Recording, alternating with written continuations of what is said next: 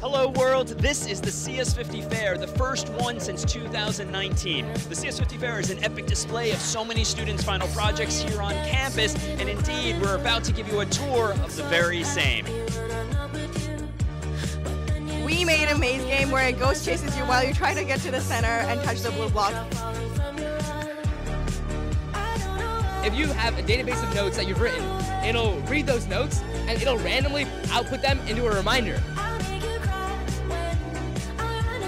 This basically acts as a review service uh, in Harvard Square where users can go in and rank and review restaurants and then see if they are compatible with another user.